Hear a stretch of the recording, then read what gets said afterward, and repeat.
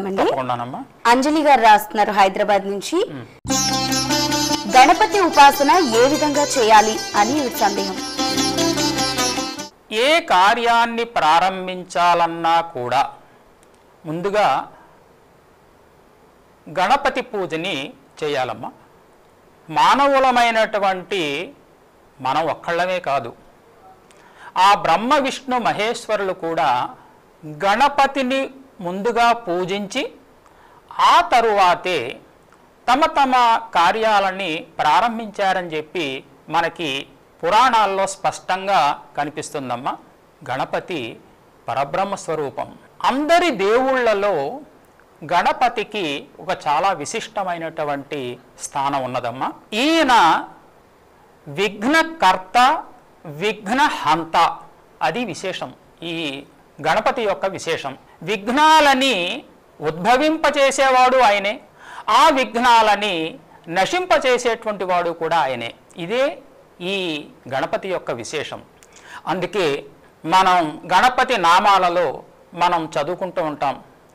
విఘ్న కర్త్రే నమ విఘ్న హంత్రే నమ అని. అంటే విఘ్నాలు చేసే ఆ గణపతికి నమస్కారం. విఘ్నాలని నశింపచేసేటువంటి ఆ గణపతికి నమస్కారము అని గణపతి యొక్క వైశిష్ట్యమే ఇదమ్మా. మిగతా అందరి దేవుళ్ళలోనూ గణపతి యొక్క వైశిష్ట్యం ఇది. ఎవరైనా కూడా గణపతిని పూజించి ఆ తర్వాత కార్యక్రమాన్ని ప్రారంభింప చేయాలి ఇది విశేషం. ప్రజ్ఞానిధయే నమ అన్నారు. చిత్స్వరూపమైన. పరబ్రహ్మ అంటే ఏమిటి? శుద్ధ చైతన్యం తత్స్వరూపం ఈయన. సర్వ జగదాధారాయ నమ అన్నాం.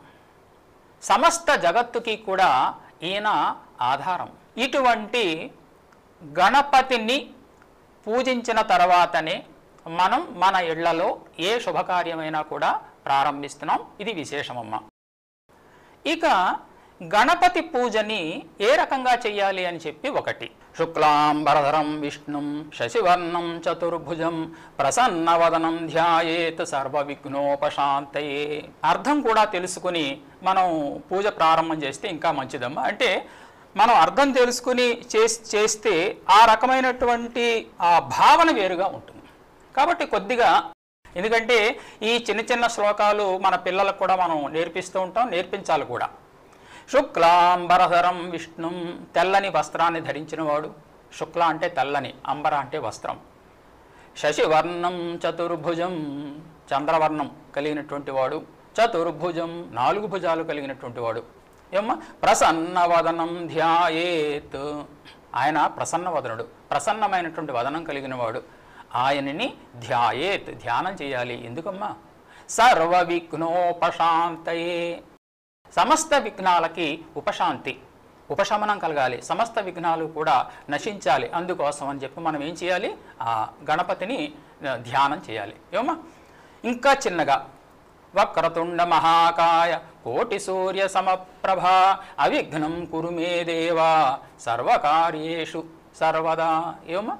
ఓ హే వక్రతుండ ఏమమ్మా? ఏనుగు తొండం కొంచెం వంకరగా ఉంటుంది కదమ్మా? వక్రమైనటువంటి తొండం కలిగినవాడా? మహాకాయ గొప్ప కాయం అంటే శరీరం కలిగినవాడా? కోటి సూర్య సమప్రభ కోటి మంది సూర్యులతో కూడుకున్నటువంటి కాంతి కలిగినటువంటి వాడా అవి నిర్విఘ్నం కురుమే దేవా. నాకు నిర్విఘ్నము విఘ్నం లేకుండా చేయము. ఎటువంటి విఘ్నాలు లేకుండా చేయము? సర్వకార్యేషు సర్వదా. సమస్త కార్యములు ఎందు కూడా ఏ విఘ్నాలు లేకుండా ఆ కార్యాన్ని సంపూర్ణం చేయమని చెప్పి మనం ప్రార్థన చేయాలమ్మా. తర్వాత అగజానన పద్మార్కం గజానన మహర్నిషం అగజానన అగజ అంటే ఆ హిమవంతుడికి పుట్టినటువంటి పర్వతానికి పుట్టినటువంటి ఆమె. ఎవరు? పార్వతీదేవి. ఏమో అగజానన పద్మార్కం. ఆవిడికి ఉద్భవ ఉద్భవించిన వాడు ఇక్కడ. ఈ గణపతి మహాస్వామి. కాబట్టి అగజానన పద్మార్కం. ఆ ఆనన పద్మము వంటి కాంతి కలిగినటువంటి వాడు గజాననం. అక్కడ అగజానన అని వచ్చింది. ఇక్కడ గజాననం. గజము యొక్క ఏనుగు యొక్క ముఖము కలిగినవాడు. అనేకదంతం భక్తానాం.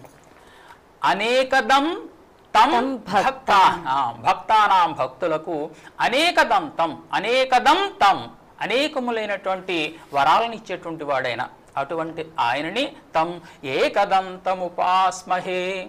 ఆయన ఏకదంతుడు. కదా?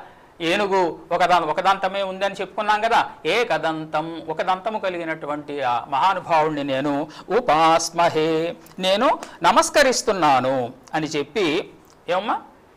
ముందుగా మనం చెప్పి ఈ శ్లోకాలు చదువుకుని ఆ తరువాత అష్టోత్తర శతనామాలు ఉన్నాయి ఆ నామాలు చదువుకోవచ్చు. అందుకనే ఆ నామాలలో కూడా మీరు గమనించండి సమస్త దేవతామూర్తయే నమ అని ఉంది. ఈయన సమస్త దేవతల స్వరూపమైన. అటువంటి నామాలతో మనం గణపతిని పూజ ప్రారంభం చేయాలమ్మా.